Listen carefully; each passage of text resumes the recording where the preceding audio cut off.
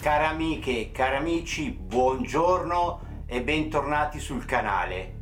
Continuiamo a parlare del giallo di Via del Ciclamino Rimini. Ieri, nella puntata di quarto grado, nello spazio dedicato al caso di Pierina Paganelli, è successo di tutto. In studio c'era presente Manuela Bianchi, il suo consulente dottor Davide Barzan, in collegamento da Roma la dottoressa Bruzzone e durante la trasmissione improvvisamente compare in collegamento da Rimini Valeria che ha preso, si è vestita, è scesa giù eh, sotto il palazzo in zona farmacia, quella farmacia ormai diventata famosa, con l'inviato di quarto grado. Si inizia a parlare di Pierina partendo da un servizio dove ci si pone una domanda ma è veramente Luis da Silva l'assassino? Inizia il servizio spiegando cosa abbia portato la procura a credere che l'uomo che passa sotto la cam 3 della farmacia alle 22.17 in via del Ciclamino sia effettivamente Luis da Silva. Oltre a far vedere questo video che conosciamo benissimo, vengono riproposte altre situazioni dove il senegalese passeggia ed effettivamente muove questo braccio in un modo particolare. Devo dire la verità, a me ha messo in difficoltà perché io ah, guardando la prima volta questo video, poi l'ho rivisto più volte, poteva portarmi a pensare che poteva essere sia Luis che Loris o addirittura questo condomino che anche lui abita lì vicino a Manuela. Sono convinto che comunque chi viene ripreso alle 22.17 che è di rientro verso il condominio non può essere l'assassino. È passato troppo poco tempo dall'omicidio. In studio si comincia a discutere anche sull'eventuale passaggio di questo condomino che pochi minuti prima si trovava al bar e poi tornando a casa avrebbe percorso quelle, quella strada per andare in via del Ciclamino al 29. Dopo aver visto le interviste fatte a questo uomo, in presenza anche della moglie, che confermerebbe che eh, si trattasse di lui, anche perché porta gli occhiali e nel filmato sembra che la persona che passi sotto la telecamera li indossasse una maglietta con la scritta dietro, lui addirittura associa a quella cosa strana che abbiamo visto di colore bianco a una borsa termica che si portava al lavoro. Tutto confermato anche dalla moglie che aggiunge addirittura che lo riconoscerebbe nella camminata. Ma allora, care amiche e cari amici, è Luis?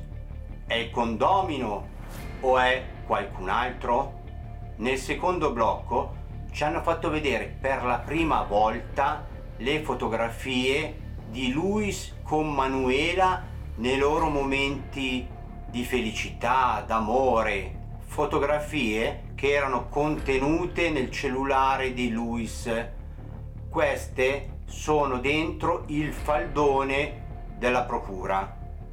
Dopo addirittura hanno fatto vedere diverse chat tra la stessa Manuela e il senegalese, dove veramente ci sono scritte d'amore, dove uno dice ti amo e l'altra anch'io. E in più, dopo, Manuela scrive anche a Luis quei momenti di difficoltà nei confronti del marito Giuliano e della sua famiglia. Lo stesso Luis le risponderà dicendole che non la meritano, in poche parole, di farsi forza, che quelle persone sono proprio brutte, arrivando a far vedere gli ultimi messaggi dove addirittura Luis scrive come se fosse in protezione di Manuela, dove quasi, parere mio, è come se le volesse risolvere un grosso problema. Una volta ancora dopo il filmato si ritorna in studio e cominciano a interagire Manuela e Valeria. al momento sembra partire tranquilla la discussione fino a che veramente si accende. Io ho notato una cosa però, che prima che uscisse il discorso del tradimento, ho potuto notare che queste due donne veramente prima erano unitissime. Me lo conferma il fatto che si è intuito benissimo che tra loro esistono tanti segreti, molte confidenze, ma serie. Ci sono state anche scambi di battute, secondo me, molto pesanti anche tra la dottoressa Roberta Bruzzone e il consulente di Manuela, dottor Davide Barzan, dove addirittura la criminologa eh, dice a Barzan che è un ventriloco, che lui dovrebbe andare al circo e a far cosa lo fa intendere, mentre lo stesso dottor Barzan, anche lui, eh, contraccambia nei confronti della dottoressa in collegamento da Roma, ribadendo anche lui a lei di non essere al circo. Si conclude lo spazio dedicato a Pierina Paganelli parlando del DNA. La presentatrice Alessandra Viero è lì con il generale Garofano.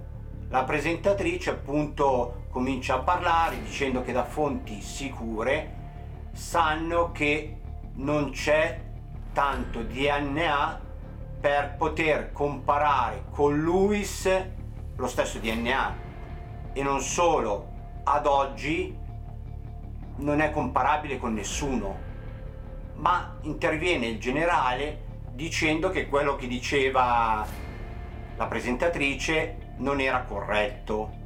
Secondo lui che è il consulente di parte di Manuela Bianchi presente a Roma durante questi test, invece dice che esistono tracce ematiche di donne, tracce ematiche mischiate donna-uomo e beh, quello che già sappiamo di uomo.